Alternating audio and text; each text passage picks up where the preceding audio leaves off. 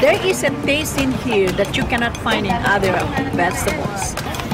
And the more you eat, the more it's become tasty and you keep on, you know, asking for it. What this farmer in Hawaii is talking about is not a vegetable, it's a tree. And while Vicky Domingo says it has an unusual flavor, there's more to this tree than meets the taste buds. You keep on eating and eating, and you can feel your body is more energetic, more healthy, and you can see the difference. You're not dropping, you know, you keep on, you know, just so active. Domingo says she has grown this tree on her farm for more than 25 years.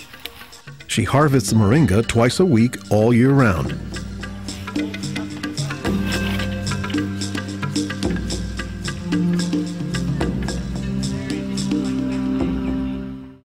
Domingo says there are many nutritional and medicinal uses for moringa.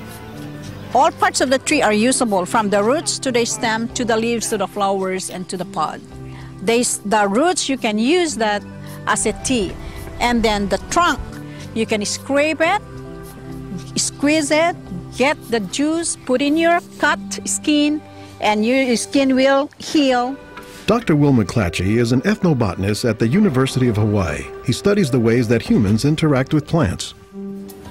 Moringa is one of these trees that is a, a multi-purpose plant that fulfills such a high percentage of kind of basic needs that uh, when people get used to using it, uh, they really can't see what it's like to live without it.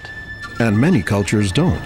Today, moringa is used as a remedy and, in essence, a multivitamin in many of the world's warmest regions. Moringa is used widely in Africa and South Asia, and it's been introduced into South America and Central America where it's also being used. So, you know, this is not just a plant of a single community. This is a plant that really does uh, do extraordinarily well in, in, in some of the most difficult areas, in areas that are very hot, areas that are very dry, areas where, where other things are very difficult to cultivate. I don't think they're actually the most attractive tree. They're more a tree that, that you look at and you sort of love the way you love a, a scruffy friend or a scruffy dog. Uh, because the, the branches sort of splay here and there and they get burdened down with huge quantities of fruits on them. And uh, that's actually what makes the tree so remarkable, is that it's such a generous tree. And that's because people have found multiple uses for so much of the tree, including its seeds. They're full of oil. You press the seeds, and then this wonderful aromatic oil comes oozing out, uh, which you can use for cooking, you can use for cosmetics or lubrication or whatever. Uh, and the cake, the press cake, the, the, the stuff that's left over after pressing the seed, that is what's used for water purification. Water purification, Olson says, is especially useful in developing countries where clean water is hard to come by. But the benefits don't stop there. Some of the things I think are most exciting about moringa is, for example, the high vitamin content. There's a lot of vitamin A in the leaves. Uh, and uh, worldwide, that's a problem. Uh, a lot of people uh, have problems in development of their eyes because they don't have enough vitamin A.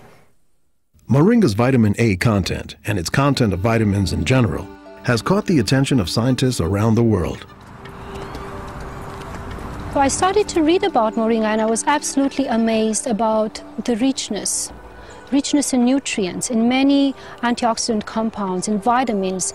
Dr. Monica Marcu is a pharmacologist who has studied many plants.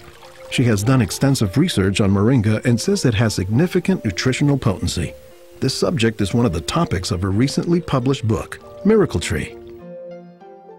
To me, it was just a natural um, pathway from my scientific background and my love for trees to writing this exciting book on one of the most exciting and extraordinary trees of our world.